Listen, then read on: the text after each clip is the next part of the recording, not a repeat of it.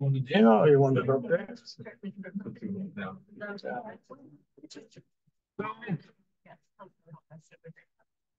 Welcome to Global Aktion. We have put the camera the right place. We will tape uh, this, but we will not uh, stream it, uh, and we will put it on uh, Global Aktion's uh, YouTube channel later. Welcome to Global Aktion. We are a solidarity organization working with different movements around the world on social economic rights mainly. Um, we are volunteer organization, we are member-based organization, and we have been working uh, with and around the issue of Western Sahara for many years now. Probably some of you have never heard much about Western Sahara. Now you have your chance. Uh, because uh, Stephen Zunes have, is a guest professor at the University of Göteborg in Sweden and is now in Denmark. And uh, it means that we can, we can have his uh, input to uh, the two conflicts, the one in Palestine and the one in the Western Sahara. Um, we have asked him to speak around 40 minutes. If you have any clarifications, please put up your hand and ask uh, what do you mean, what questions and the debate will take after a short break after his presentation. Um, we will not film the audience. Um, so we will not be in the risk of ending up on YouTube. So welcome here. Uh, the toilets are just down here, uh, down there. There's coffee, tea, cold water over there. And if you want a soft drink or a beer, you can buy it in the fridge just at the yeah. yeah. So uh, welcome again to Global Aktion. Uh, we're looking forward to your presentation. Thank you so much. And I really do mean to thank you because um, you know, I, I've been involved pretty heavily in uh, solidarity work in both Palestine and Western Sahara for, for decades now. And I'm often asked to speak about uh, Palestine, especially in recent months. But uh, you know, rarely do I ever get a chance to talk about Western Sahara. As oh, this may be the first time I've been asked to talk about my favorite topic, and that is uh, talking about both of them together, bringing them together.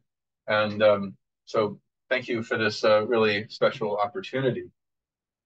Um, you know, the Hamas terrorist attack on Israel uh, this past October and the Israeli war on Gaza that followed has put much of the world's attention, of course, on Israel and Palestine, not just in regard to the tragic events of recent months, but to the Palestinian struggle for self-determination against the 56-year occupation. I'm not going to address Gaza uh, in my prepared remarks, though uh, please, I'd be quite happy to talk about it and and um, in, the, in the question and answer period if you, if you, if you would like.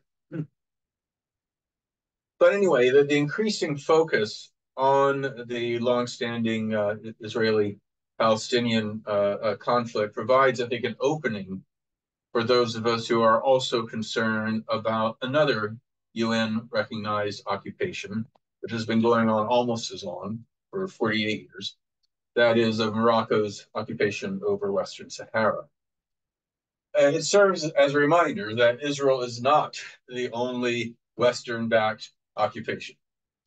Um, and it gives us, and it is not the only, only, West, only recognized occupying power.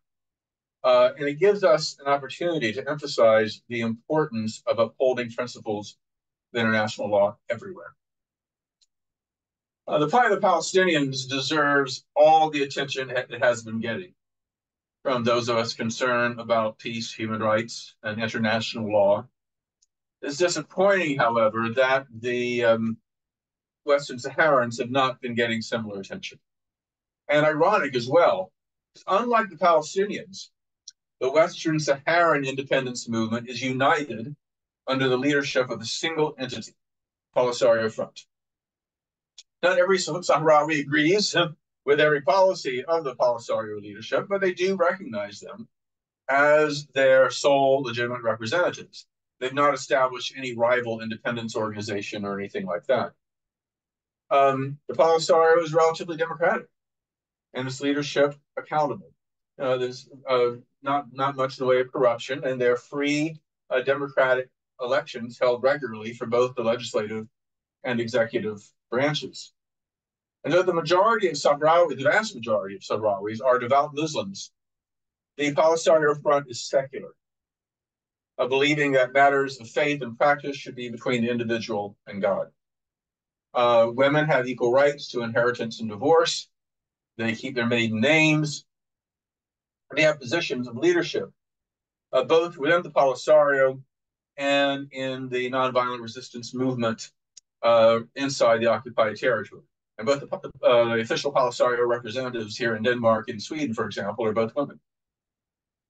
Um, the Polis, unlike some Palestinian groups, the Polisario has never engaged in terrorism and has strictly adhered to the Fourth Geneva Convention and the laws of, and the laws of war. They are fighting Moroccan occupation forces, not in, inside their country, not Moroccan civilians, including the Moroccan settlers whose presence in the occupied territory is illegal under international law. Indeed, uh, the proportionally proportionally there are more Moroccan settlers in occupied Western Sahara than there are Israeli settlers in the occupied West Bank, though they are both illegal according to the Fourth Geneva Convention that prohibits countries from transferring their civilian population onto territories seized by military force. The Polisario has never questioned Morocco's right to exist and has pledged to respect Morocco's strategic interests and its internationally recognized borders. Even the parts of southern Morocco, with a predominantly Sahrawi population, which Spain separated from the rest of Western Sahara late in during the colonial period. Despite all this, we have not heard demands uh, from the United States or Europe, most European countries for a two-state solution, but in the conflict between Morocco and Western Sahara, as they've been calling to calling for in relation to Israel and Palestine. Even Western nations that have formally recognized Palestine, uh, like like Sweden and Iceland, uh, have not uh, recognized um, Western Sahara, though at one time or another, 84 countries have recognized the Sahrawi Arab Democratic Republic, the Western Saharan state, which is a full member state of the African Union. This seems to, I mean, this seems to send a message to the Palestinians. Even if you unify under one leadership, even if you never engage in terrorism, even if you recognize Israel's right to exist, even if you clean up your corruption, you're democratic, do everything the Western nations say you should do, we're still not going to support it. We still aren't going to stop supporting the occupation. And that's the message they're giving to the Palestinians by the pol policy towards Western Sahara. So what incentive does this offer? Both um, the, uh, both the uh, Western Sahara and the West Bank are recognized as territories under foreign belligerent occupation by the United Nations. And if anything, Western, Western Saharans have an even stronger legal case for independence, uh, or so, I should say self-determination. They could choose not to be independent. They, they um, you know, if you're not self-governing territory, you could decide to remain part of the colonial power like Puerto Rico has to in relation to the United States, or the, the French Caribbean islands have decided to do in regard to France. But they need to have a choice of independence, and uh, they have been denied uh, that that uh, that right. Um, and the and they all that they've been asking, you know, ever since the early seventies, for a free and fair referendum internationally supervised referendum. So they get to decide themselves. Morocco has refused to do that. And the Western nations had blocked the United Nations Security Council from enforcing its mandate uh, for an act of self-determination. But there is more Moroccans. So, what? But there is more Moroccans in the Western. Yeah, yeah, but but this the the the, the calls for referendum are for the the indigenous population, not settlers, just like in the west, uh, uh similar to the West Bank. Though Moroccans, unlike Israelis, want people to believe that the conquered and subjugated people are the same nationality. Uh, the Sahrawis, who uh, populate Western Sahara and parts of neighboring countries, do have a distinct dialect, history, kinship system, food, dress, and other cultural attributes. They were never part of Morocco, though Morocco claims they were uh, were by virtue of some pledges by some tribal leaders a couple centuries ago, pledged pledges of fealty by some tribal leaders to the Moroccan Sultan. Now, the International Court of Justice ruled that that um, yeah, there were these pledges of fealty by some tribal leaders, but that does not constitute sovereignty. And that does not deny the people of that territory the right to self determination, like every other uh, non self governing territory, like every other colony.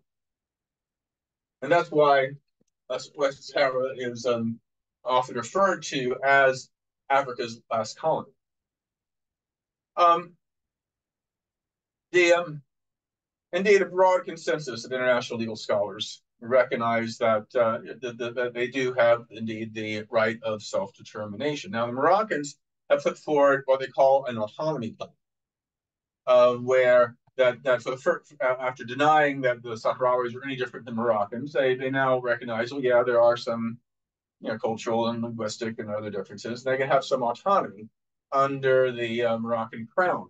But if you look at the details of the uh, autonomy plan, it's a lot of it's rather vague and it says it doesn't um, you know, contradict anything in the Moroccan constitution, including Article 19, which basically says uh, the king can decide pretty much any, anything he wants, and that's the law.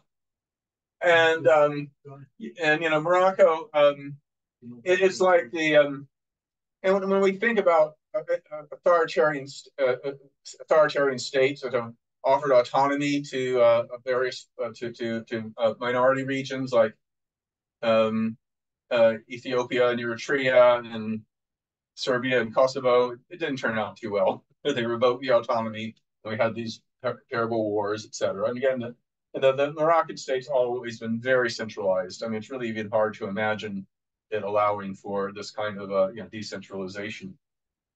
Um, but the most important thing about the autonomy plan is it does not allow the option of independence. Again, if the people of Western Sahara freely chose autonomy, that, that, that would be fine. It's their choice. But it has to be, uh, independence has to be an alternative they, that they, have, they can choose as well. It's, it's up to them. They have to have that choice. Um, so I've been asked to, to look uh, briefly at, uh, since I'm an American, to look at United States relations to both countries, uh, because the United States, of course, is such an, an important player in the international community. Starting with uh, U.S. and Moroccan relations, Morocco, interestingly enough, was the very first country in the world to recognize the newly independent United States back in 1777. So we go way back. Um, and uh, after independence, concern about how a number of uh, African and Arab countries were turning towards more kind of a, more of a left-leaning uh, nationalism and imperialism. We really liked the Moroccans because they were very pro-West. I mean, the the the uh, royal family uh, were you know big-time Francophiles. They spoke better French than they did English. I said better French than they did Arabic. You know, they were very um, uh, very much aligned with the West during the Cold War. They were they were they hosted uh, four U.S. military bases, major CIA uh, center. Um, they were they were enemies with the revolutionary uh, Algeria, um, and uh, they even played a surrogate for U.S. interests. Like when the United States tried to crush uh, leftist uprising against the Mobutu dictatorship uh, in what was then called Zaire uh, the, the U.S. flew in, uh, you know, 12,000 Moroccan troops to help with suppression. They also intervened in, um, in places um, uh, like Togo, Equatorial Guinea, other places in support of U.S. interests. It was through them we funneled arms to UNITA, the uh, uh, the rebel movement in uh, in southern Angola, allied with white South Africa that was fighting the uh, Marxist uh, MPLA uh, government there. So they, they, they played very, very much a surrogate kind of role. And since the end of the Cold War, they've been an ally in the so-called war on terrorism. They're one of those black sites where um, Al Qaeda suspects would be taken for torture and worse. Um, and I mean, so it's a, it's a, it's, you know, they played a very, uh, very important uh, uh, role, and um, the um, and the United States played a major role in creating this crisis in Western Sahara in the first place. Spain, the colonial power, had planned to go ahead with a referendum, which almost everybody assumed would lead to independence. The United Nations investigative body was there in uh, in the summer of uh, 1975 and said virtually everywhere they met went, people were wanted independence under the leadership of the Polisario. Virtually no, none of them wanted independence with Morocco or Mauritania, which had these irredentist designs on the uh, on the territory.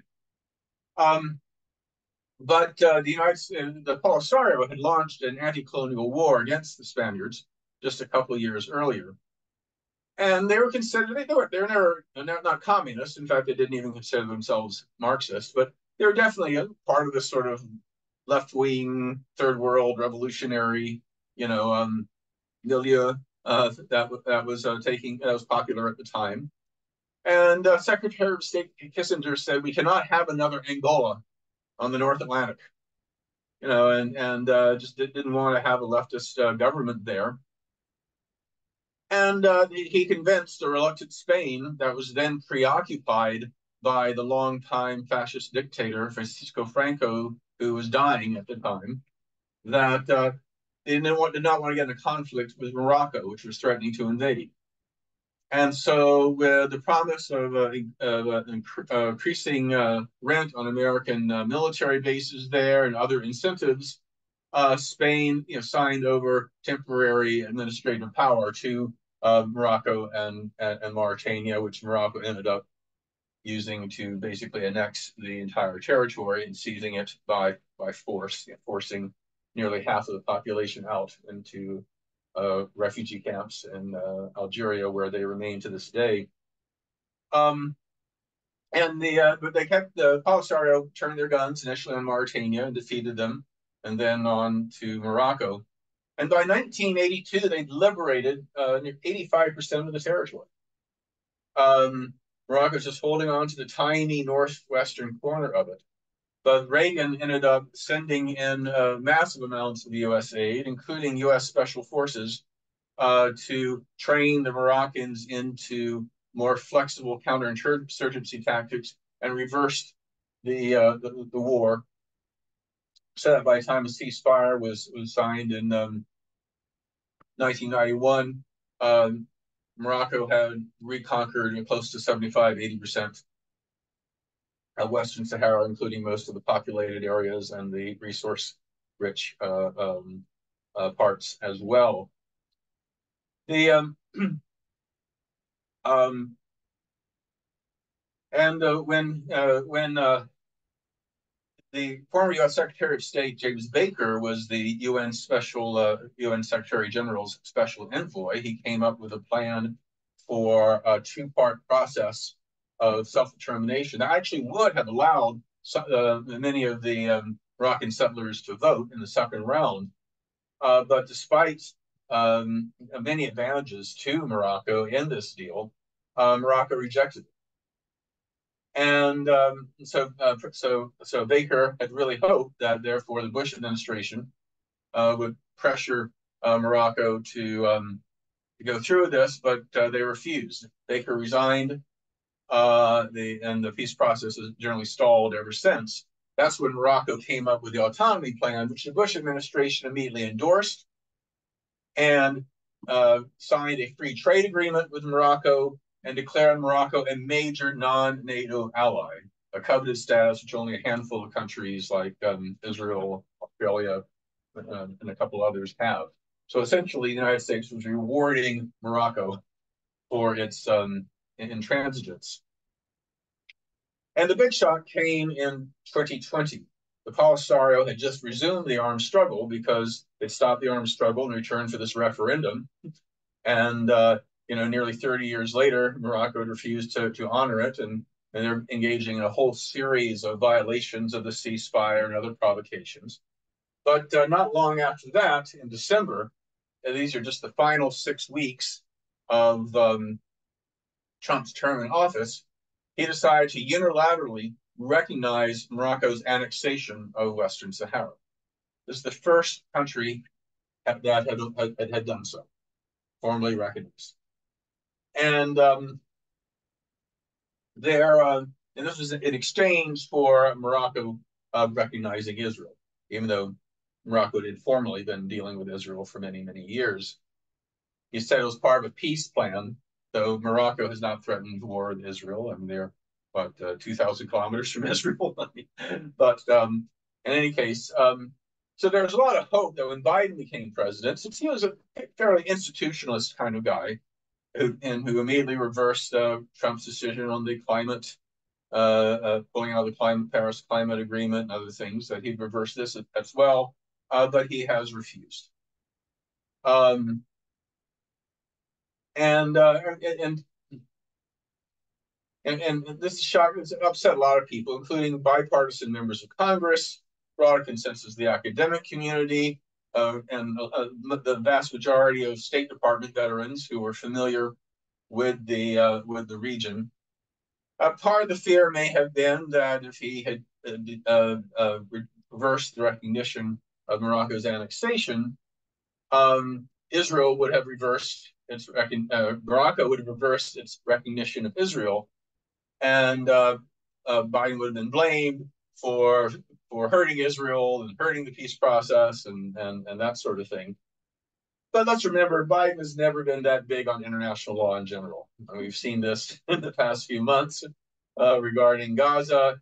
Um, he um, um, uh, he, uh, he's you know vetoed these uh, three UN Security Council resolutions calling for ceasefire. One of only ten countries in the 193 member General Assembly to vote against a ceasefire. Uh, and, and, indeed, he he um, uh, he he, uh, he didn't reverse Trump's recognition of Israel's illegal annexation of the Golan region of southwestern Syria. You know, which um, this is in direct violation of a series of UN Security Council resolutions, which even Reagan supported.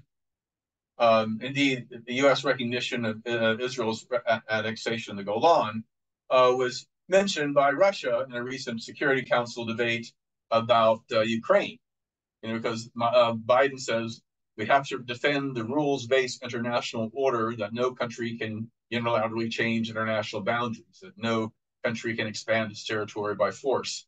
And Russia pointed out, well, you, you did this in Syria, which Israel seized by force in 1967, again, in violation of UN Security Council resolutions. But but but uh, at, at, at, least with the go Golan, it was part of it was a relatively small part of one country. In the case of Western Sahara, we're talking about taking over an entire nation. In fact, you have the U.S. recognition includes even the parts of Western Sahara that Morocco's never ever controlled.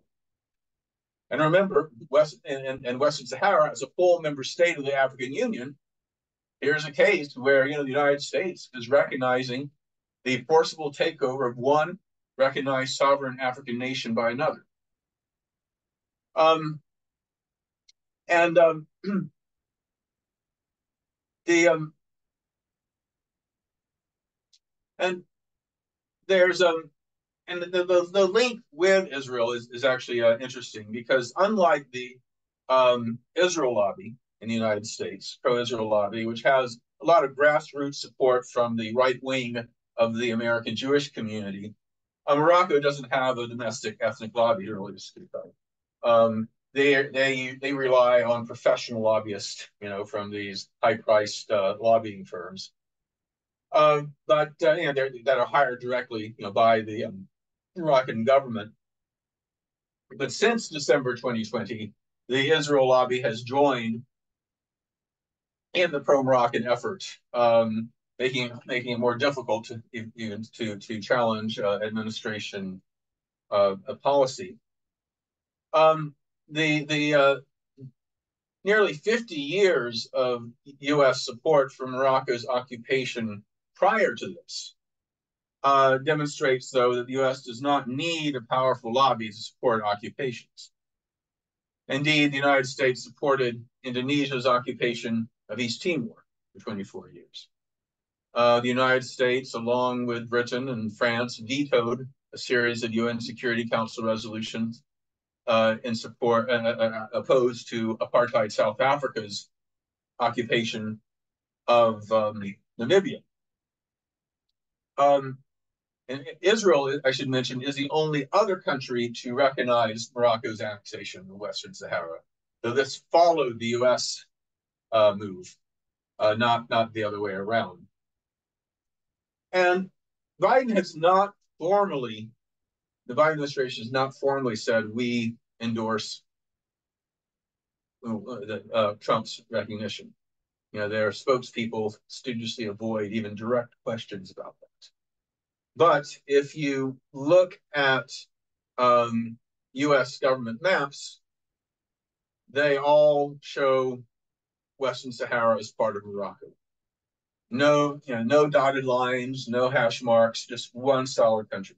We, we, U.S. government maps do not include West West Bank as part of Israel, or Crimea or Donbass as part of Russia, but they do um, have the Golan Heights and Western Sahara as part of the uh, nations that invaded, occupied, and illegally annexed it.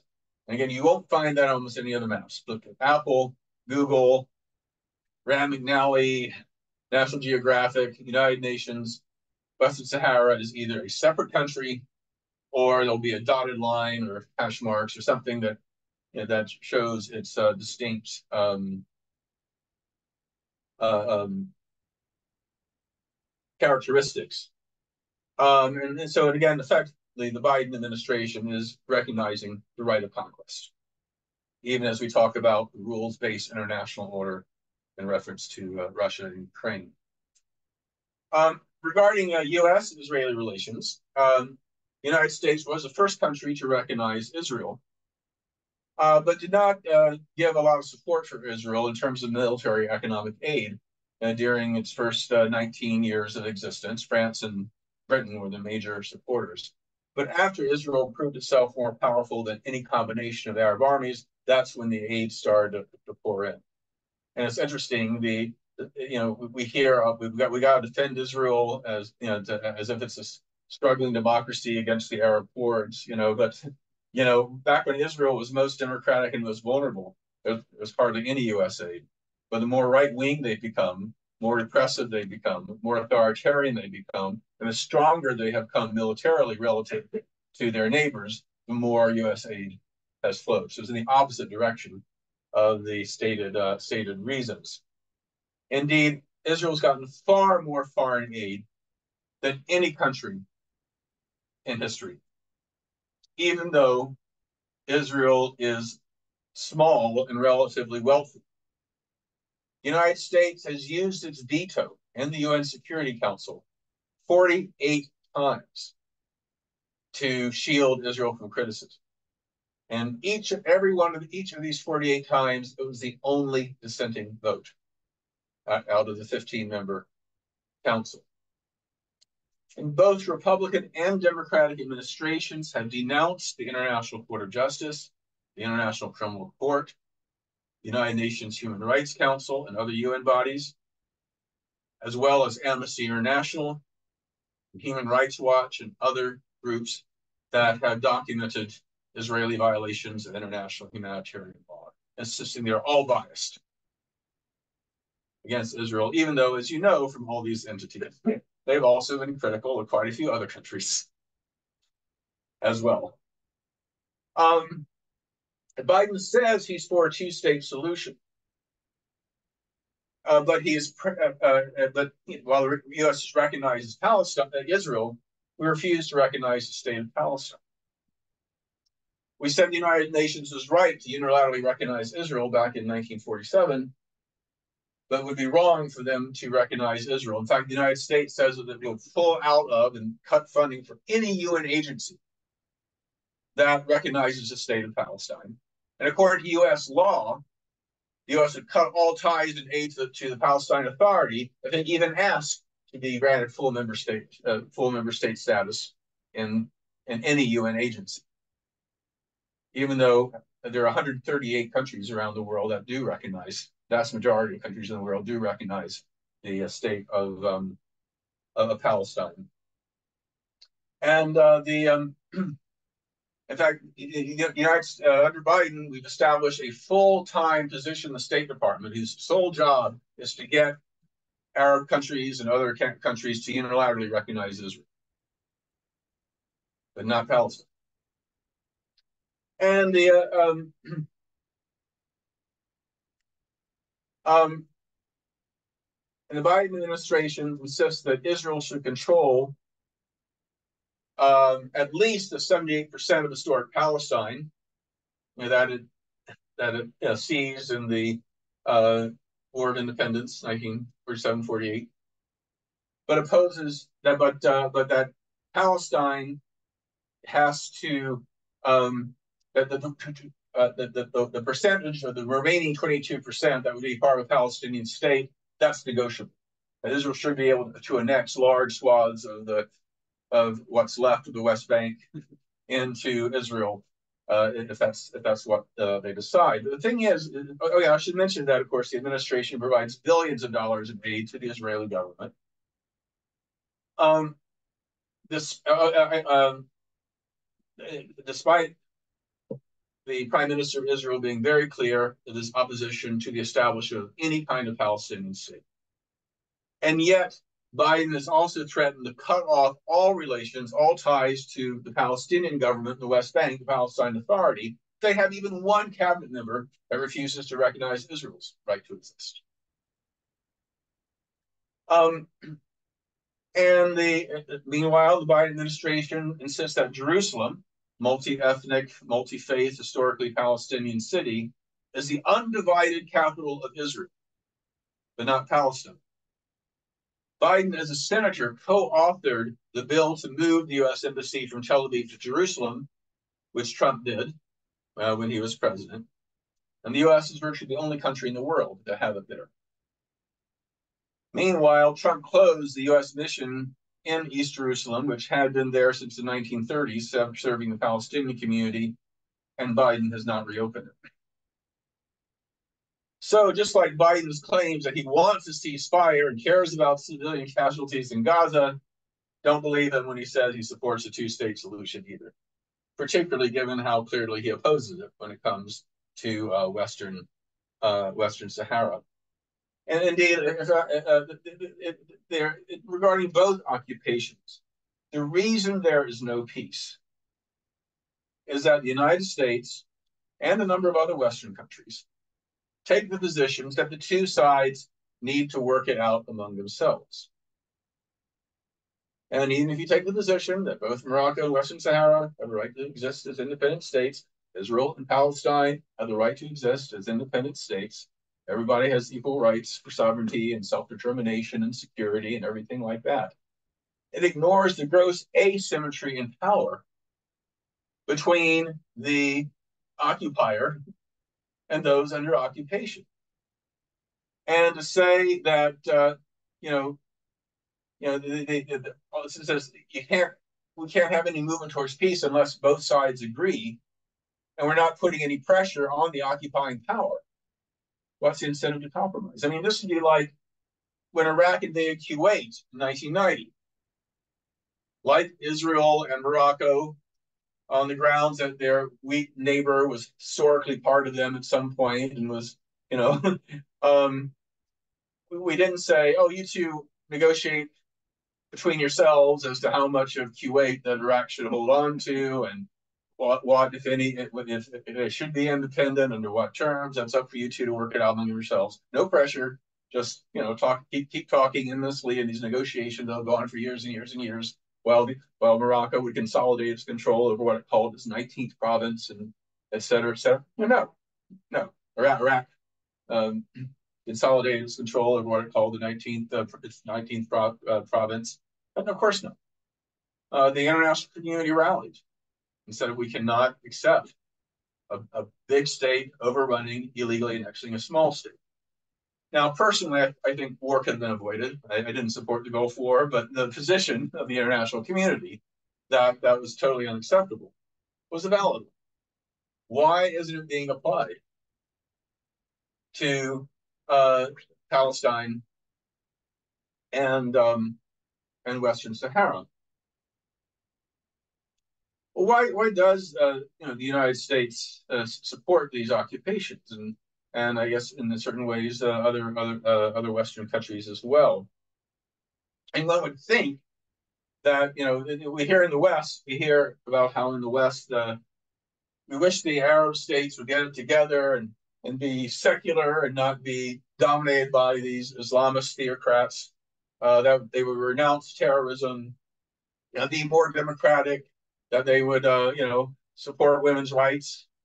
Well, I mean, Western Sahara. I mean, if they want that kind of state, then at least it seems that Western Sahara would be the one they would support, because that's you know the, the Western Saharan government, the Sahrawi Arab Democratic Republic, they they they they, they, they um, control not just the small strip of liberated lands in the uh, eastern desert, but they are the de facto government of 160,000 or more Sahrawis living in refugee camps in Western Algeria.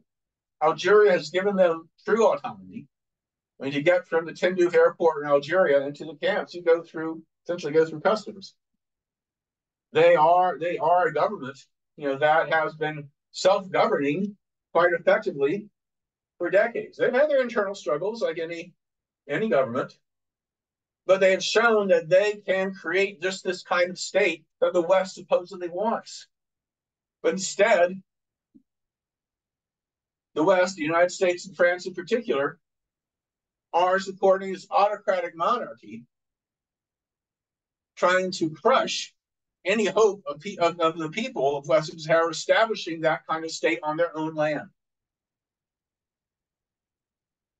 And again, why? And, and I, I, mentioned some of the reasons you know the U.S. is supporting Morocco overall, but why? Why? Why taking over Western Sahara?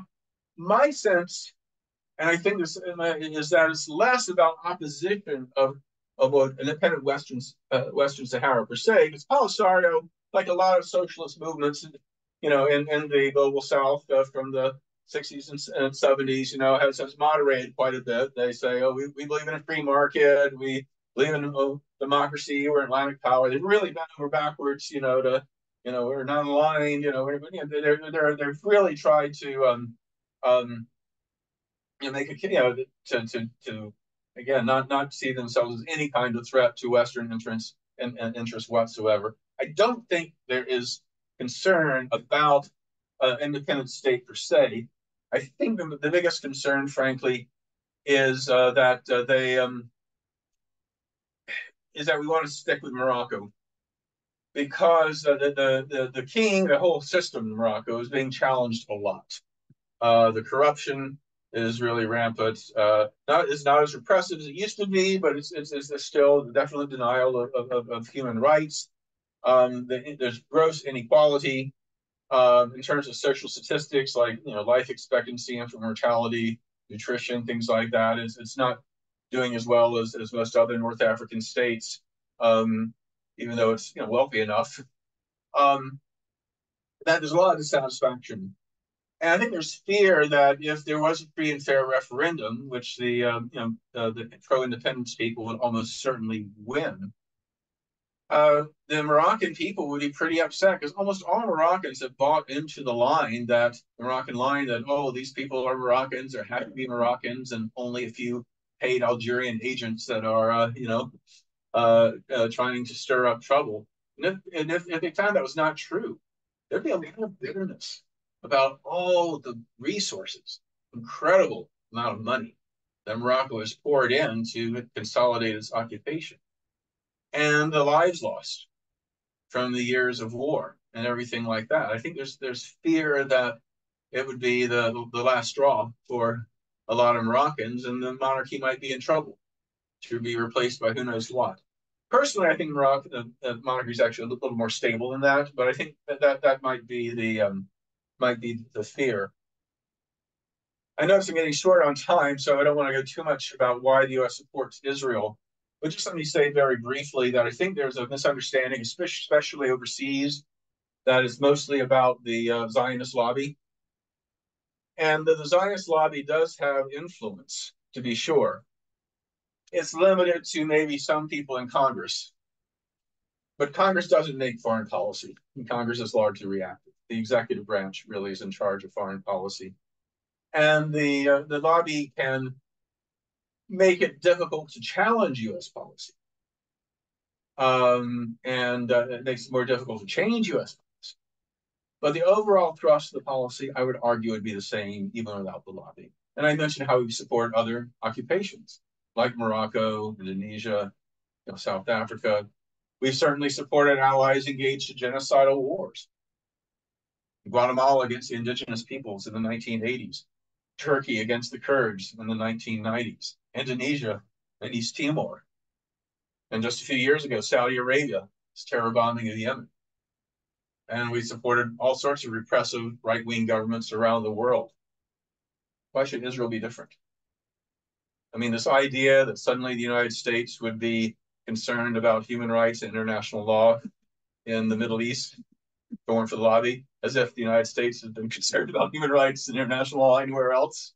I mean, seriously, folks, don't don't don't uh, um, don't uh, let, us not exaggerate the, the power of the Zionists. Frankly, uh, when one thing that bothers me, just briefly, is that I think there's kind of a tendency and kind of an unaware anti-Semitism that comes in, where you kind of exaggerate the power of wealthy Jews to, you know, manipulate things and, and control control stuff. And and I think a lot of the exaggeration of the Zionist lobby, you know, kind of um, falls into that you know, which is it's uh, which is not to say it's not anti-Semitic to criticize them for where they are when they do create a climate of intimidation in some places and they do interfere. And it's certainly not anti-Semitic to criticize Israel, criticize Zionism, anything like that. But again, I'd be cautious about over exaggerating the the influence of, of wealthy Jews in terms of uh, of U.S. and, and the policy of other um, of other Western uh, um, Western nations. Um, just a couple of words about linkage. Um, the Polisario and the Western Saharans themselves have long had great solidarity and support for the Palestinian struggle. Unfortunately, that has not been reciprocated. Um, Fatah, you know, the dominant party of uh, the PLO, the Palestine Authority, supports, you know, uh, largely the Moroccan uh, position. They haven't formally recognized the annexation, but they generally support Morocco on this. Uh, the uh, and Hamas, in fact, there's a small Palestinian uh, Sahrawi Western Sahara Solidarity Group in Gaza, and Hamas shut it down a couple of years ago. Uh, some of the there, there are a few uh, leftist and intellectual, uh, progressive intellectual voices in Palestinian society that support the uh, Sahrawis, but but but they're a minority. When Nelson Mandela assumed office, majority rule in South Africa. He was planning to recognize Western Sahara, and uh, Yasser Arafat called him up and, and talked him out of it. Though his successor, uh, successor President Zuma, did uh, recognize uh, Western Sahara. And that's been very disappointing, you know, for the Palestinians. And indeed, while the Arab, the, the uh, African countries support Western Sahara overwhelmingly, the Latin American countries support Western Sahara overwhelmingly. Uh, the Arab world, unfortunately, with the exception of Algeria, pretty much, um, has uh, um, uh, largely supported uh, the Moroccan uh, monarchy. um, and what's what's in, in, important in both of these cases is that there's a lot more at stake than just the Sahrawi people and the Palestinian people. What's at stake is the international legal order, the uh, and, and, and uh, which has been at least on the record since the end of the Second World War. Yeah, this is the rules-based international order. You hear um, uh, Biden and NATO leaders and others talking about in reference to Ukraine that countries can't expand their territory by force. Uh, that uh, You have to respect international boundaries. You can't deny people their right of self-determination. And you know, the trouble is, if, if for example, uh, Morocco's autonomy plan is accepted, as the Americans, the French, Spaniards, and other governments have been calling for, it'll be the first time since the founding of the United Nations that a colonized people, a, a non-recognized non-self-governing territory, has been denied the right of self-determination. It'll be the first time that a country has been allowed to expand its territory by force and have that recognized by the international community. So what at stake is not just, you know, the, the fate of these, these people, but again, the, the, the international order. And then the thing again, the, the hypocrisy, the double standards on Ukraine is obvious. I've been to Africa three times um, since the Russian invasion. And every time I try to, you know, at least partly defend U.S. policy and, and, and speak out against Russian aggression Russian imperialism, everybody from cab drivers to foreign ministry officials immediately bring up Western Sahara. Um, and uh, again, this, this, this really hurts the, the, the, we, you know, the, the, credibility of Western democracies. The um, but in terms of the um, of, of, of, of what can be done around Palestine and Western Sahara, as again, I look go back to East Timor. Remember, East Timor um, 30 years ago was seen as the ultimate hopeless cause, the ultimate triumph of realpolitik, where a powerful nation swallow a weaker nation and the international community would not respond, would not be, would not refuse to reverse it. In fact, East Timor was in worse shape than Western Sahara of ways. Because you know, I mentioned Western Sahara has been recognized by up to 84 countries, whereas East Timor was only recognized by three. um, the um, the United Nations has completely dropped it from the agenda. But at least in Western Sahara, they at least have to renew the mandate of the peacekeeping force every six months, even though it's not doing anything. Um, but the um, eventually but what happened was, and again, like like uh, the the arms struggle in East Timor was even weaker than the arms struggle in Western Sahara.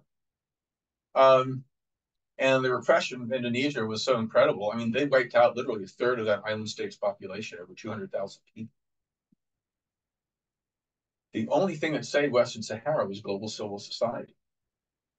Mobilizing, organizing, essentially shaming Western governments like the US, like Britain, like Australia, like Canada, and others, from supporting uh, Indonesia. And so when the Indonesian economy collapsed in 1999 with the big Southeast Asia uh, meltdown, Western nations would say, hey, we'd like to help you guys out, but this East Timor thing is making it impossible. And forced Indonesia to have a referendum, which they lost, and East Timor is now free. And look at South apartheid South Africa. Again, by the by the realpolitik, the realist you know paradigm of international relations, why should Western nations have, have put sanctions in South Africa? Foreign corporations got twice their return average return on investment in South Africa of any other part, part of the world. Because you had the combination of a consumer, wealthy consumer society and the white population, a poor exploited third world labor force, and the black majority. And South Africa was an ally in the Cold War and all that. And yet, campaigns for boycotts, divestment, sanctions throughout the Western world, solidarity movement in South Africa, finally forced Western nations to impose the sanctions, which forced the release of Mandela, negotiations which led to majority rule. Which leads us to the current boycott, divestment, sanctions campaign regarding the Israeli occupation of Palestine. I would like to see that extended and linked to Western Sahara. There is a small scale BDS campaign on Western Sahara, but it hasn't gotten a lot of attention. It would be great if the campaigns could come together. Now, there are some Palestinian activists who say, no, we don't want, it's going to dilute our, our effort around Palestine. We can't be distracted. Mean, we, the, the Palestinians have their own case and, and we don't, we don't, but, but it, I think it would actually strengthen the Palestine solidarity campaign. Because if we included Morocco's occupation as well, remember, this is the only, I mean, the countries I think morally have the right to self-determination, like Tibet, you know, for example, or Chechnya, or Kashmir, or West Papua. But in terms of what's legally recognized by the international community as non-self-governing uh, countries under foreign belligerent occupation, they denied the right of self-determination. Palestine and Western Sahara are the only ones. So if you could link the two, people would no longer say, oh, why are you singling out Israel? Why are you singling out the world's only Jewish state? I say, no, Morocco's a Muslim Arab state. This is not about Jews. This is about self-determination. This is about international law. This is about human basic human rights. And it would help avoid divisive arguments you get about the nature of Zionism or this or that and the other, and get it really down to the basics that could build the kind of unity for a bigger movement. And besides, frankly, I think Sahrawis deserve our solidarity just as much as Palestinians. Um, so I, I think this is really the only way, because if you look at Western Sahara, the armed struggle is not going to get anywhere. I mean, the age of, of drones, open desert warfare, you know, they, they don't, it's at most it's propaganda of the deed. They cannot defeat the Moroccans militarily. Moroccan, I mean, Morocco's population is 40 times that of Western Sahara. Um, the obviously the diplomatic route isn't going anywhere because mostly of French and American uh, efforts to block it. Uh, the, I'm a great believer in the power of strategic nonviolent action. You know, ability to bring down dictatorships. And we saw how it uh, freed the Baltic republics from Russian occupation, for that matter, India from British occupation and the like. But if you look at, uh, yeah, but but uh, in Western Sahara, Moroccan settlers outnumber the indigenous population by a ratio of three to one now. And nonviolent resistance usually can only work if you represent a majority of the uh, of the people. So um, I really, really, the, the East Timor model, the South Africa model, really is the only hope, global civil society. And we've seen this great explosion of civil society activism and solidarity in Palestine in recent months. And I'm really hoping we can see that with Western Sahara yeah.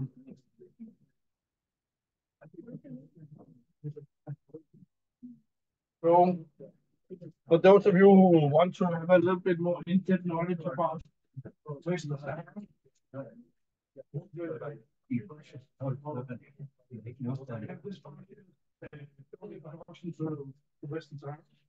and some other factors about Western Sahara, you have three two-step convictions to believe. Yeah, they're Danish. Um, yeah, welcome back. Thank you. Um, yeah, questions, comments, inputs. Let's start with uh, Irene. I'm from Pakistan, and international forum. It was very interesting. You had many interesting things that you know about Pakistan, etc.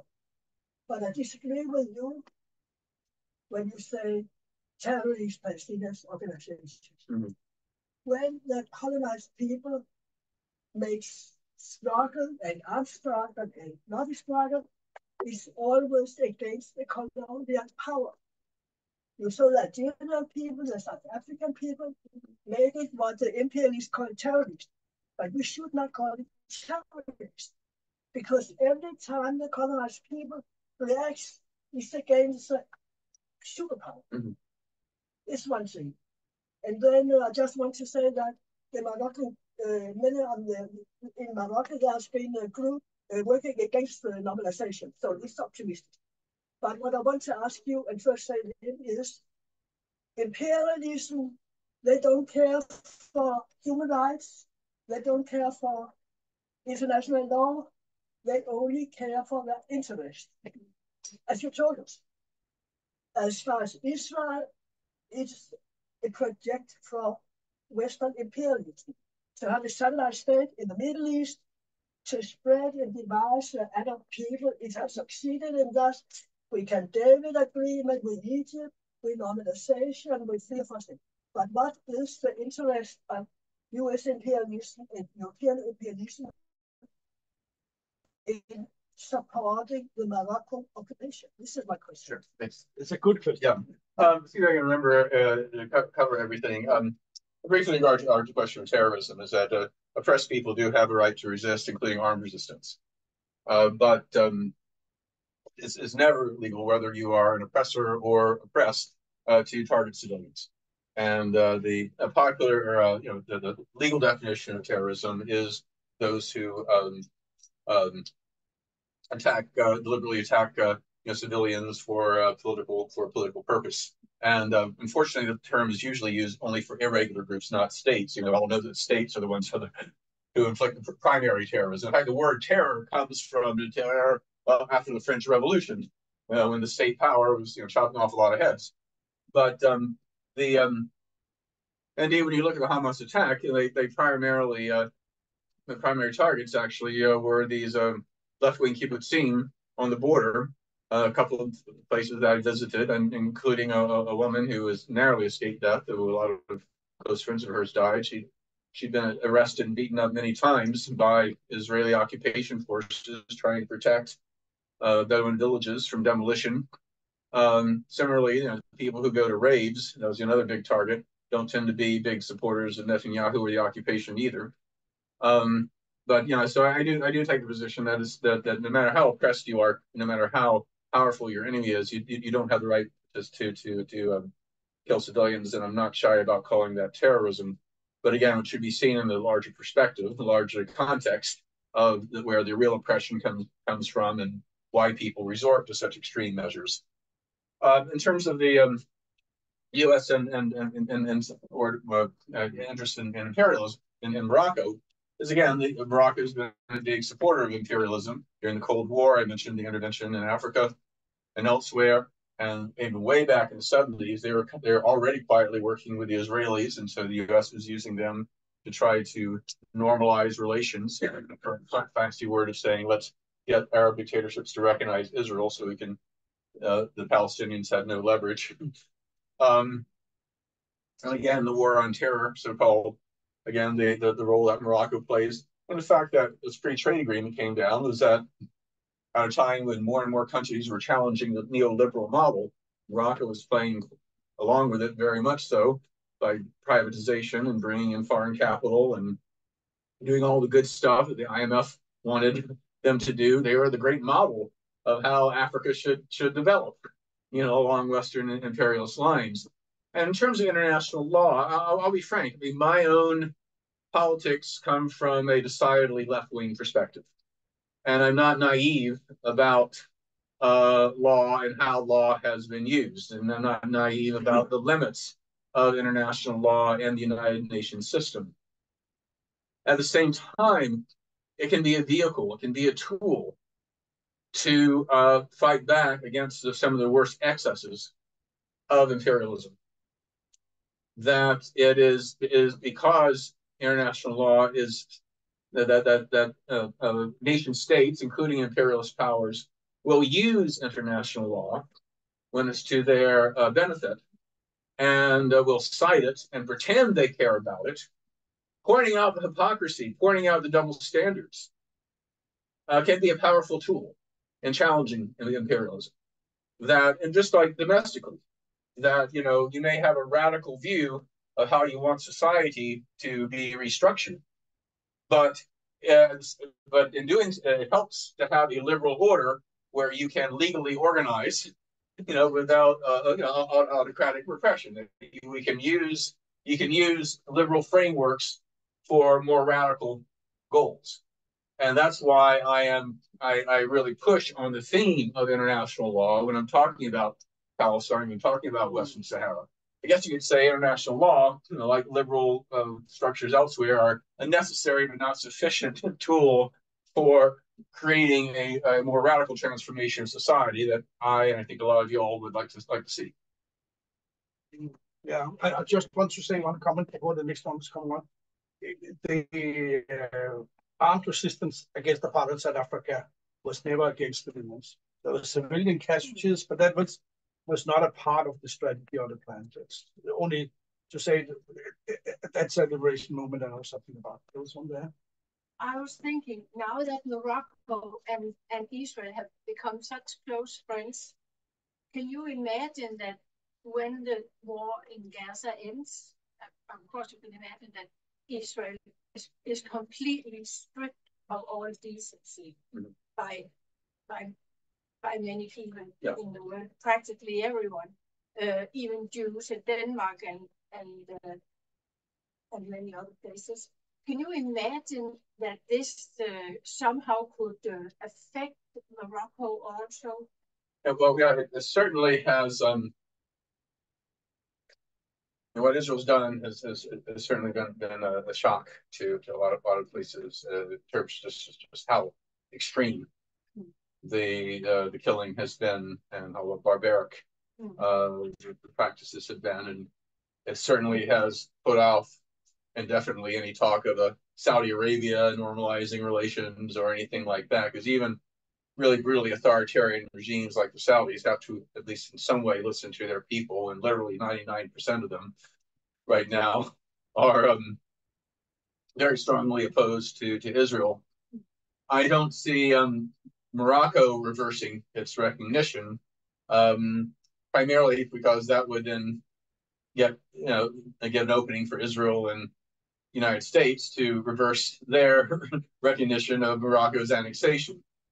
But, uh, and it has not stopped. And during this period, Morocco accepting Israeli technology and military technology, uh, including uh, uh drone technology, which the um, Israelis have been using against uh, uh, not just the Polisario, but civilian traffic in, in, in the liberated zones. Sorry, sorry, any countries. Yeah, so, um, and, uh, yeah, and, and, and Morocco not, not just using it against the Polisario, but against Morocco using it against you know civilian traffic and and uh, you know Algerian truck drivers and Mauritanian truck drivers and others. Um, and also the, the the, the Pegasus spyware, you know, those Moroccans have been using to track uh, the, the nonviolent resistance that's going on in the occupied territory and uh, other kinds of. This was, that's a movement outside of what to say. Yeah. Um, but uh, yeah, it, it, this is um. So I think, and, and though I think it, it's, it's set back normalization efforts with a number of Arab countries, I I, I don't think it's going to impact Morocco that much because you know the occupiers of the world unite. You know? uh, yeah, I, th I, I, think actually uh, Irene asked about what interest do uh, have in Morocco, and I think there's one European thing, mm -hmm. and that is the, the issue of refugees. Uh, uh, Morocco is like Turkey, uh, a kind of the EU insurance that there's not too many African refugees yeah. coming through Morocco and mainly to Spain, of course. That would yeah. yeah, I mean, so that's a that's a key issue for the European Union. is that Spain, Spain in particular, because this, you know, Spain is former colonial power you know, there, there's been a lot of solidarity movements there. There's, there's collective guilt about it. I mean, many people thought maybe like Portugal, you know, in terms of East Timor, they might, you know, try uh, to make amends by supporting independence. But if anything, Morocco's gotten more, uh, Spain has gotten more pro-Moroccan, even under the the uh, under the uh, Socialist Workers Party, which is a Social Democratic Party. But again, Morocco's uh, uh, threatened to open the floodgates of migrants if that happens. Because remember, Spain has these two little presidios on the Moroccan mainland, which are Spanish territory. Not to mention, what is it, only uh, like 17 kilometers across the uh, um, Straits of Gibraltar. And, um, just for example, when the president of Western Sahara had a case of COVID a year and a half ago, he went to um, Spain for hospital treatment and the Moroccans let down the border in Melilla among the Presidios, and thousands of uh, migrants poured in just over over a day, a day and a half. And that was sort of a warning, you know, if you, I mean, and, and so if you did anything more. And of course, who gets hurt politically if there is a big upsurge in migration? This tends to be the left parties, right? And who gains? The far right parties. So I think there's sort of a calculation. Well, we, we, we don't want the far right to take over, so it's worth you know abandoning the uh, uh, uh, the, the Western Saharas. I think there's one it's interesting uh, observation by the UN is that most of the people who are coming out of Morocco as refugees are Moroccans.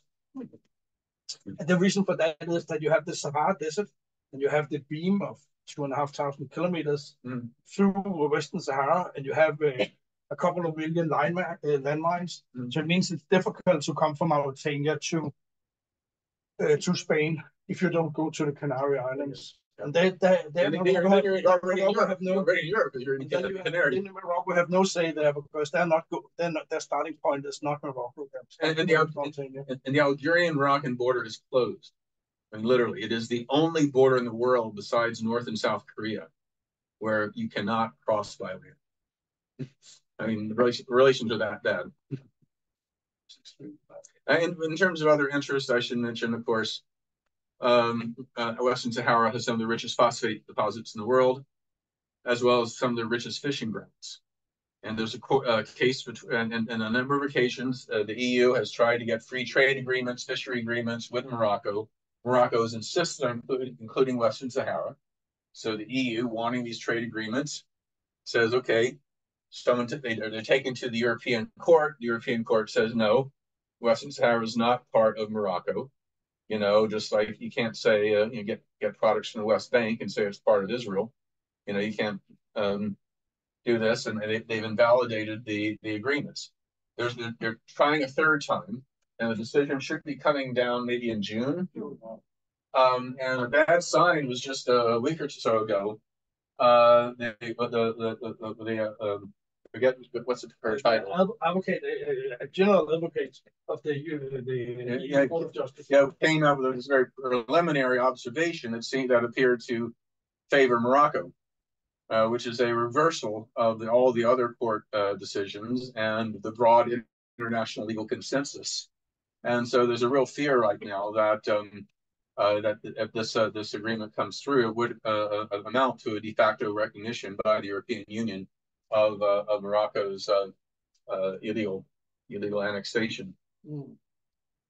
So in June, we will know more. Then it, it's the seventh case around agreements between the European Union and Morocco. It's from But I should mention in terms of BDS stuff, that it has had an impact. I mean, uh, you know, Norway has this huge, um, you know, what, what do you call it? The fund where they, they, uh, uh, oil fund, you know, they, they, they invested in a huge, big, biggest investment portfolio, single investment portfolio in the world. And they have divested from any companies doing anything in, in Western Sahara. Yeah. Um, the, uh, a number, uh, and, and, and, and, uh, and uh, uh, McGee, which is a notorious uh, um, uh, petrochemical uh, petrochemical uh, uh, energy firm in the United States, uh, they have pulled out of Western Sahara because of the pressure, and, and a number of others have as well. There's a group I re- highly uh, recommend that owns on the on the board actually, the Western Sahara Resource Watch. You can find their website, and that you know, will give you an idea of some of the BDS type activities and uh, other efforts to you know to address the economic issues uh, vis-a-vis uh, Western Sahara. Yeah. So it's it's mostly mo- mostly focused on, on disinvestments. The reason for that is that the investments in Western Sahara is keeping the occupied occupation going. As long as there's a good profit in occupying Western Sahara, then the, the, the Moroccans will have an interest. The same it become a cost to occupy the neighboring country and not a gain, then it, it's international law is, is very clear that if you are, if, if, uh, you cannot uh, exploit resources from territories under occupation or colonies and non-self-governing territories, of which you know, Western Sahara meets all those descriptions.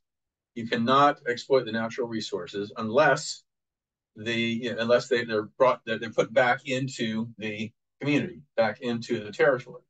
Now, Morocco says, well, we've actually put more into the territory than we've taken out in terms of financial resources, which technically is true. But the vast majority of that has been to as subsidies for Moroccan settlers. and for political repression and military activity.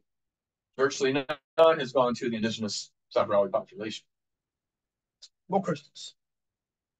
One more for you. Uh, I know, of course, that in Morocco it's illegal to speak favorably about the independence of Western Sahara. I know you can't do that, and no political parties do that. But Frisera claim that they have relate, connections, relationship with with Moroccan dissidents and with Moroccan political parties that are against the king. What what do you think would happen if if the king is overthrown and if they have a revolution in Morocco? There's been there's been attempts, by but they've uh, yeah yeah. I mean, I think the, the I mean. I don't think there's going to be. I don't think the king is seriously threatened. I mean, the last time they had there were two attempted coups in the early 70s. It came very, very close to succeed. In fact, that's really why, personally, I think that the, uh, he he ordered the Green March and the takeover of Western Sahara. Frankly, it wasn't just the phosphates or or mineral sources that I. He wanted a nationalist cause to get people to rally around the flag. He was seen. This is this is the side. This is during the real the heyday of Arab nationalism. He was seen as kind of you know neo-colonial, Francophile, you know whatever and these are left-leaning nationalist officers. And so he was saying, "Well, I will embrace the the whole the nationalist card by taking over South to Western Sahara. Everybody rally around the flag for this great national cause. And it's an anti-colonial cause because you know Spain is uh, Western Sahara is a Spanish colony. So I'm not I'm not a neo-colonialist. I'm anti-colonial, and um, and, uh, and it also had the advantage of keeping the army as far away from Rabat as possible. Uh, so uh, I think I think that that was that was I think the initial uh, motivation. At this point, I, I think I think uh, um, the, the the the state is is still pretty pretty strong. But you're right about the repression. I mean, even though again Morocco's liberalized so much. I mean, in terms of we sometimes have students that do years a year abroad in in Morocco, and what people tell them is that you know you can actually talk politics. Unlike some countries in that part of the world, you can you can talk politics and and the, in the cafes and you know with your Moroccan students. But there are three things you, you can't talk about.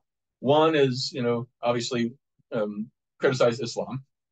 Uh, second is to say anything negative about the royal family or questions about their finances or you know that kind of thing. And the third is any questions around questioning the national unity of Morocco, meaning you know anything about Western Sahara. Those are the three forbidden uh, uh, forbidden things. Um, and as a result, you, you really do have a lot of Moroccans, including liberal Moroccans, you know, even leftist Moroccans. They both the Socialist Party and the Communist Party supported the takeover of Western Sahara. You know, um, so you know, it, it, I mean, you know, just just like I think a lot of um, we, we all have some, you know, Jewish friends who are fairly progressive in a lot of issues that are have a kind of pretty narrow vision around Israel. You know, they're similarly, you know, there are a lot of the even somewhat progressive uh, Moroccans that have kind of a, you know, narrow vision when it comes to Western Sahara. And so, yeah, that is the vast majority. But you, you are having, you know, some voices, some in the some in the far left, some in some moderate Islamist opposition. They're, they're seeing a few pockets, and um, in uh, uh, and some intellectuals uh, quiet again because you know you can get in big trouble. Uh, some growing dissent, and and and part of it is is um, Sahrawi students going to Moroccan universities get involved in some of the uh, uh, dissident politics there. Very similar to what interesting the Timorese did in Indonesian universities. Mm. The growing movement against Suharto, you know, they would say, "Hey, you know how the the regime has lied to you about this and that and the other. Well, guess what? They've also lied to you about East Timor."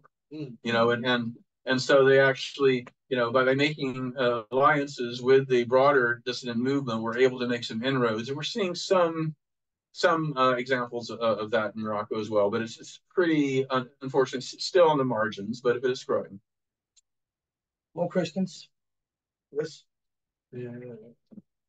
I visited the Griffiths camps 37 years ago in Algeria how are they developed from then to now? Uh, well, they're, they're much larger. I mean, 37 years. Oh, yeah. Oh, yeah, yeah, yeah, yeah. Well, they're, since. Yeah, well, they're, they're much larger. I mean, they, they, uh, the population growth rate is pretty high there.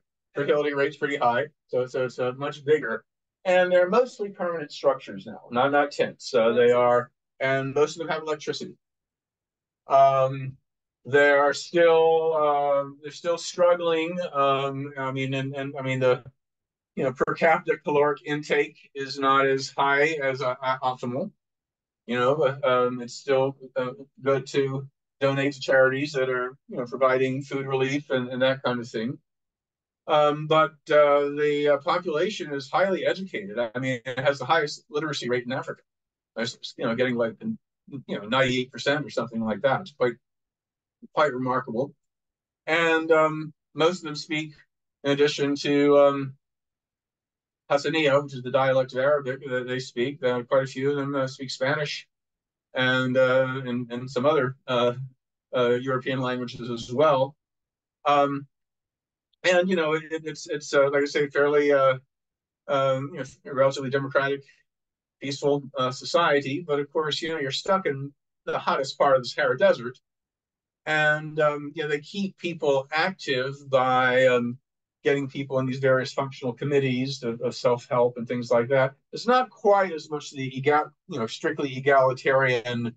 I mean, it, it, you know, um, you know, uh, I mean, it, was, it was a, a, you know, kind of a, system they have there. You, you know, you have um, private businesses now, and and you know, and um, and and and you know, again, more of a market uh, uh economy.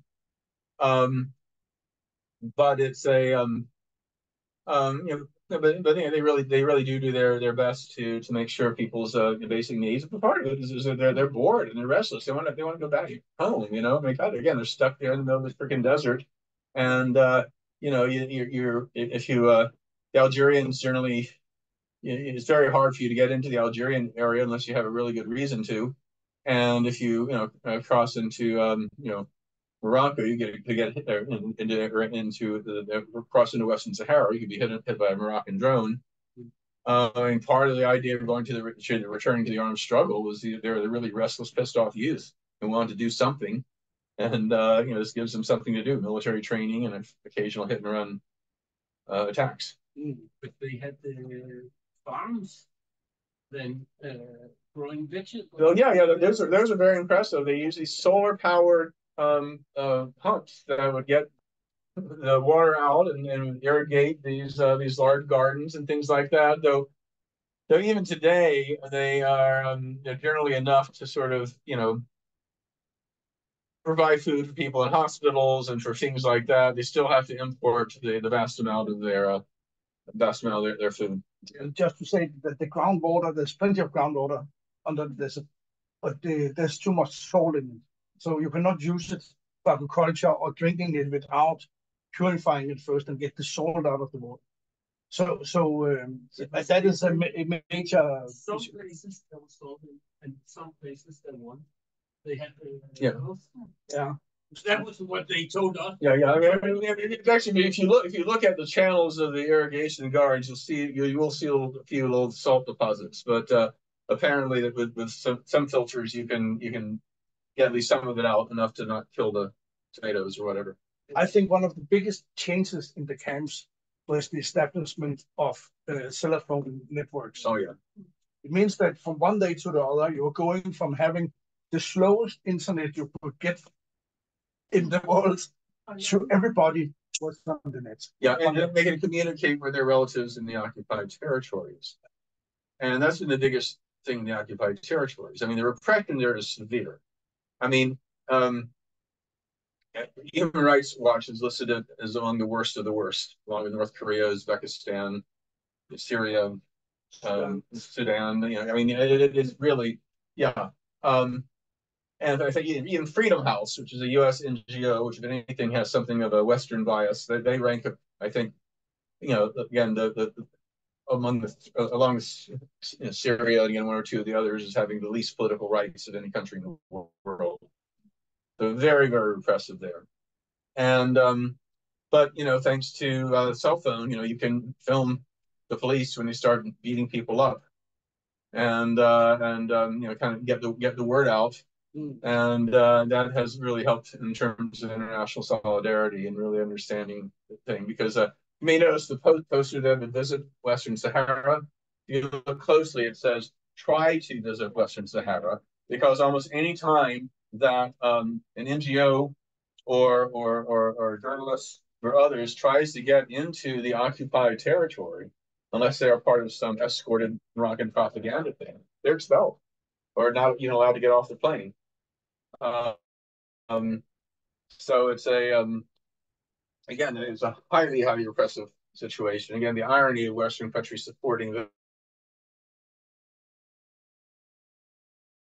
could have a democratic alternative. When Secretary General, he appointed a new uh, personal envoy on Western Sahara more than two years ago. It took this personal envoy two years to be allowed to visit Western Sahara. Just to say, even even if you're a high-ranking uh, diplomat for the UN system, it's difficult to do. So, more questions? Take one down there. Ingrid is. Was there another hand down there in the back? In the back? Yeah, sure. Oh, um, yeah, I, I had a comment first about uh, the Zionist lobby and mm -hmm. Congress. Yeah. Just that I don't think there's about calling attention to AIPAC. Yeah, I, I speak up. I, I'm I'm old and have bad ass. Yes. Yeah, yeah. I, I said that. I said I said, I said that. It's fine to criticize AIPAC. I was just saying you shouldn't exaggerate their power. And that's that's that's what I was saying. Well, but it's very unique as a lobbying group for a foreign country in the United States. Um, also, the role it plays in Congress is not inconsequential because Congress just passed a bill that suspended funding to UNRWA and also in that same bill passed continued aid to Israel. Yeah. But but my Biden had already suspended uh, uh suspend already suspended uh, aid to UNRWA, and that 3.8 billion dollar request was from the president directly. He wrote the bill. He wrote that part of the bill. Um, I mean, and, and, there are a few. I mean, there there there are a few little a few little other items that um, you know, that certainly AIPAC had had had a role in in, in putting in.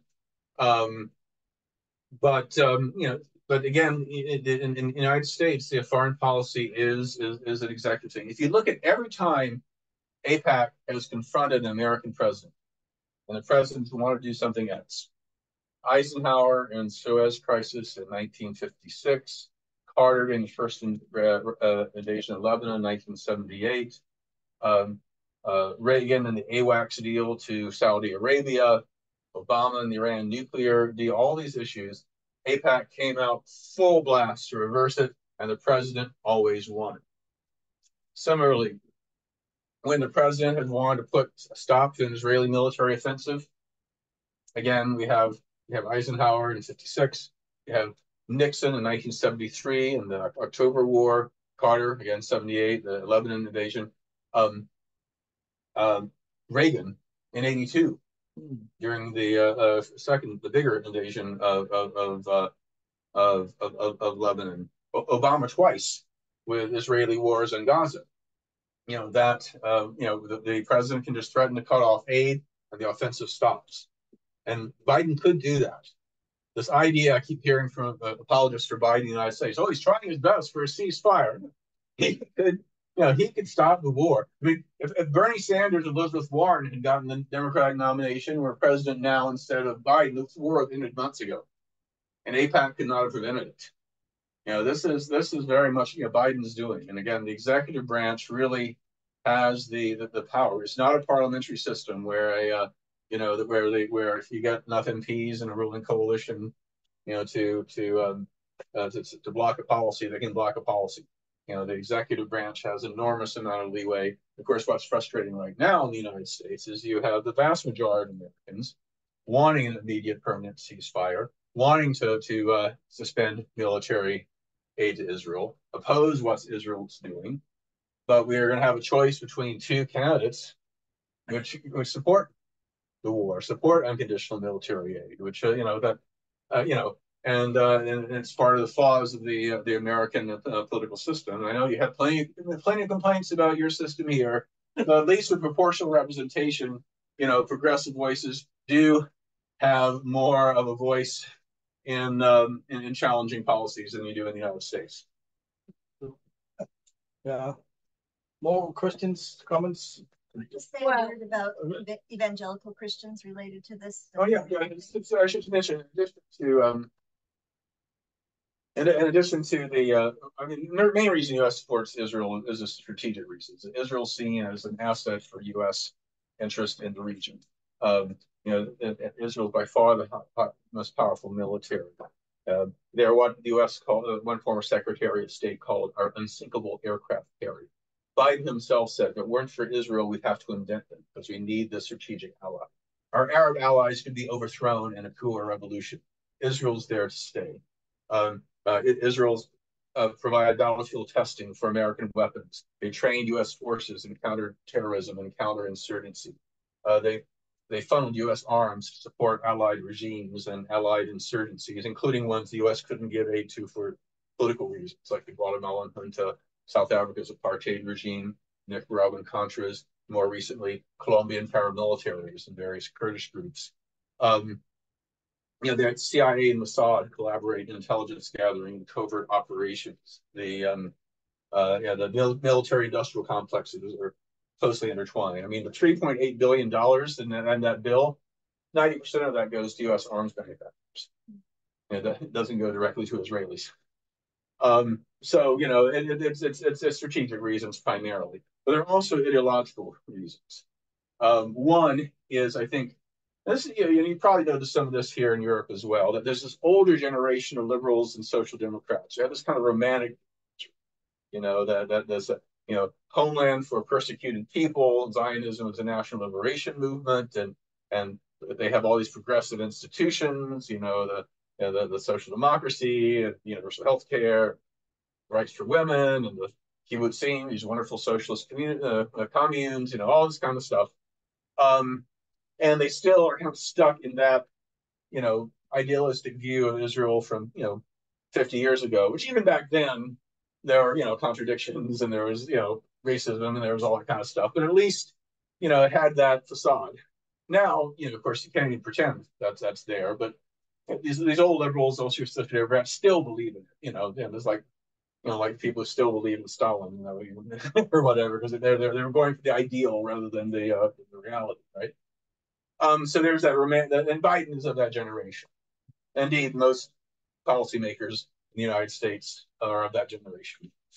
Um, but but uh, but then the other factor that Anne Louise was mentioning here, and this is the dominant force in the Republican Party, is that as you know, the United States has a very high percentage of the population who are fundamentalist evangelical Protestants. You know um, that and and most of them see Israel as a fulfillment of biblical prophecy. They see Israel and Palestine and Israel and Palestine as essentially Israelites and the Philistines, and we know whose side God is on, right? And many of them even believe that you need to rebuild the second temple, and that is tear down the uh, Al-Aqsa Mosque and, all that, and and, and and rebuild the second temple uh, for Jesus to come again. And of course, when he does, he's going to condemn all the Jews to eternal damnation, but, you know, they want the Jews for Act 1, not Act 2. Um, and the Israelis are happy to get their support because they're pretty confident that's not going to happen anyway. Um, and so, and so, and, and the right wing fundamentalists, they dominate the Republican Party. And that's why they have all those really right wing, you know, social issues, you know, on abortion and LGBTQ rights and all this kind of things, you know, and, and, and they they effectively control the agenda of the Republican Party. So um, and and so that's that's a big factor too. So really, the, the main reasons are strategic, backed up by the kind of the the uh, center left ideological attachment to Israel and the right wing Christian fundamentalist ideological uh, attachment to Israel. And yes, AIPAC of can reinforce that. AIPAC can make it harder to change that policy. AIPAC makes it hard to debate that policy. But again, I think the overall, and, and, and AIPAC can occasionally, you know, get Congress to throw in some, you know, legislation that, uh, you know, uh, strengthens U.S. support for Israel in this little area here, or just this little area there. But again, the overall thrust of the policy would essentially be the same. Now, I also think it's interesting that the right wing in Denmark is so keen on on Israel. It's uh, It's not just the right. view. no, it's not only the right wing, but but in my head, the social democrats are also right wing. Don't worry. So, um, but but also, you know, that the, the, the that also, you know, the the, the former president of the Danish People's Party, Pia Kjærsgaard, have visited uh, Morocco many times huh? um, as the chair of the parliament. Don't, I didn't know that the chair of the parliament in Denmark had foreign policy under her wings, but uh, I didn't know. So, so um, yeah. More questions? But There were two things in the Western Sahara I thought was special. The first thing is that the Green March, March wasn't uh, voluntary. It was people forced into Yep. the Western Sahara. Mhm. And, and the second thing is that the king of Morocco has a very special power position because he's not only the king, he's the leader of the armed forces and he's uh, connected to God. Yeah, Commander of the Faithful. uh, Yeah, I mean, and- that's, that's Mhm. the Oh, yeah. And the crazy the crazy thing about the current, One person. yeah, the, the, the, uh, the, um, crazy thing about the current king is that he's outside of Morocco most of the time. Especially hanging out with that German bodybuilder. I mean, it's a whole weird, weird stuff going on there. Um, and, uh, he is, um, uh, yeah, he's not very involved in the day-to-day kinds of things like his father was. His father was very actively involved. His, his father actually had a, a, a you know political science degree from Sciences Po and was very involved in governmental affairs. I heard, heard a story that quite appropriately his uh, dissertation was on Machiavelli.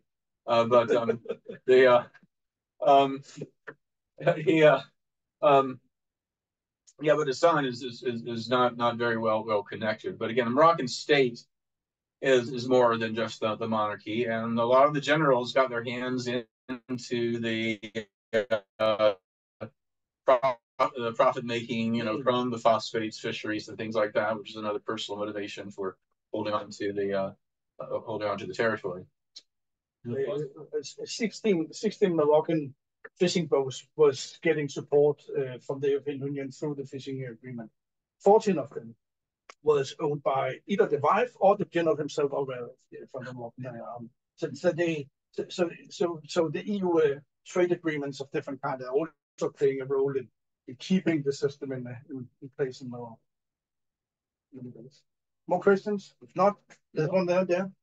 um, two questions, like, Okay. this is like, if you can like speak about, briefly about the natural resources, it's how Mhm. maybe uh, to, uh, to, to why so on. Yeah, I, I mentioned that briefly. So phosphates and the fisheries is the thing, and they are they are uh, definitely uh, profiting from that, helping to finance the war effort.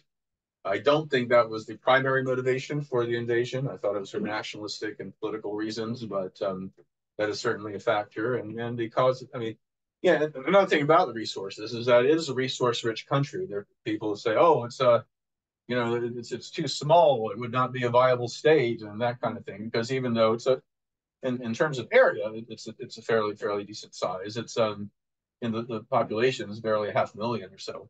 But when you count the resources, I mean, it would it would be the per capita income would actually be quite quite solid and plenty enough to um, sustain the population. And and the uh, Polisario have, have shown that they can be quite uh, good at government government governance with the- with the very poor resources. They would you know, probably do be a lot better uh, if they could actually have control their own own resources.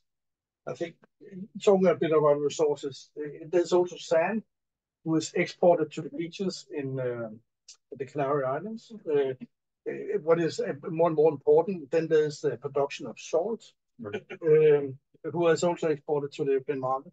Ma- Mainly road salt, you know, for when it's cold and it's snowing and so on. Um, but the phosphate is, is big.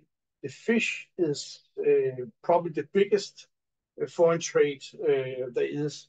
Uh, 91% of all the fish in the fishery agreement between the EU and Morocco is uh, is fish from Western Sahara. Uh, So so they the reason for that is that the the the the, the uh, Gulf uh, current are hitting Africa just outside the the coast of uh, Western Sahara. So, so there's a lot of tuna and other things, and it's mainly Spanish fishers who are, are utilizing that and the fishing. So, um, and phosphate is a commodity. There's not much of you make fertilizer fertilizer out of uh, phosphate, and there's very few uh, depots left of of this uh, mineral. It's pretty critical for agriculture. So, um, so that is the price on that is very high. Uh, we have a, quite a lot of success stories in Denmark for companies and banks and supermarkets who are pulled out of Western Sahara. All Danish major supermarkets don't trade goods from Western Sahara. And there's a very, good model. I actually mentioned Namibia and the uh, BDS uh, uh, campaign when White South Africa. One of my first actions was when I was 19 years old and I'd go into these supermarkets that had Del Monte, Monte sardines, yeah. product of South Africa, mm-hmm. and I got these little stickers that said "Stolen from the people of Namibia," "Stolen from the people of Namibia," "Stolen from." Yeah, and Trump is calling Namibia Namibia. yeah. Yeah. Oh, Christians, you have two. Yeah, um, this is more personal. I want to ask you if you have some, you know, hope in the future because you mentioned like Palestine in contrast the approach, the Palestinian approach to resistance.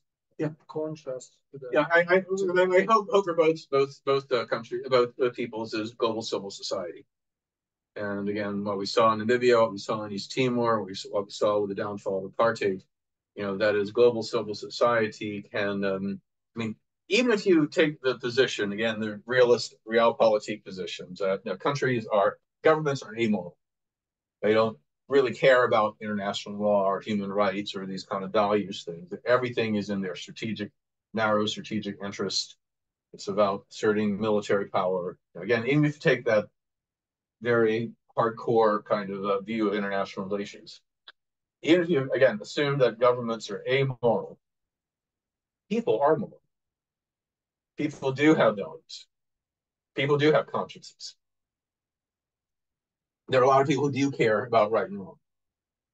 And there are people who can force their governments to change things. And as someone who was born and spent my early years in the American South, and segregation was the law of the land. When I couldn't go to a city park or an amusement park or a movie theater with half of my friends because they were a different color. When we had to drink out of separate drinking fountains and I saw how people rose up nonviolently and were able to reverse centuries of segregation. When I'm coming to age, I saw my country in a long, immoral, horrific war in Vietnam, supported by both vast majorities of both of the represent people in Congress of both political parties, presidents of both political parties, and people rose up through massive resistance and got us out of Vietnam. I mentioned the anti-apartheid movement. I mentioned uh, East Timor, but, but you know, there's also getting the U.S. out of Central America and allowing the Arias peace plan to take effect, ending the civil wars there, mm. and getting the United States at least mostly out of Iraq. And I could go down the list. Um, I think one reason we're still here is that the disarmament movement and the freeze movement at least curb to some degree the nuclear arms race. So I really do have, in my, I'm old enough to have witnessed and experienced and actually taken part in many of these movements that have made a difference. So that's that's that's the, that's the one thing I, I can hold out on because again, the oppressed people have the right to armed struggle. I see no way of military victory for Palestine, Western Sahara. Not out civil resistance can't work when you're or when you're under when you're, outnumbered. United States and other countries in nature, the diplomatic route won't go. The United Nations can't do its job, and that leaves it leaves it to us. It leaves it, it leaves it to us to make the difference.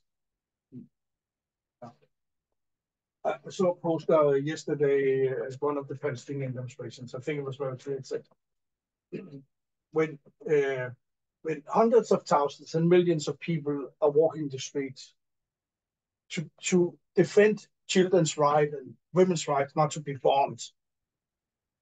And they have no reaction from our leaders. We have a problem with humanity. I think that is as clear it is. You know, uh, most people, it's not a matter what color or religion you have. nobody wants to accept this kind of of barbaric uh, actions by by governments and military, and at that that that raised movements. Mm. And you are now visiting one of the movements who who was fighting apartheid in South Africa many many years ago. That seemed like a hopeless cause. I mean, did, did- I mean, we we really think that, if, you know, uh, Did you know Mandela will come out of prison? yeah, yeah, we did too. it was a great dream, and you know, and people had inspirational speeches about that. But frankly, I, I did not think I would see Mandela as president. I mean, we were both we were both involved very much in the anti-apartheid movement. Did you think we'd ever see Mandela? No, when when they when they released him, I think he probably die after a week. Yeah, yeah, yeah. Yeah, so- Or he's mad, or Yeah, yeah, and, and, and so, and even when it feels hopeless, like you know, we had these mass demonstrations. I mean, during the Vietnam War, I remember 1969. You know, you had you know, a million people, millions of people in the streets protesting the Vietnam War. So it was not- we're not making any difference. Well, we now know that Nixon was planning to use tactical nuclear weapons against North Vietnam in November of that year.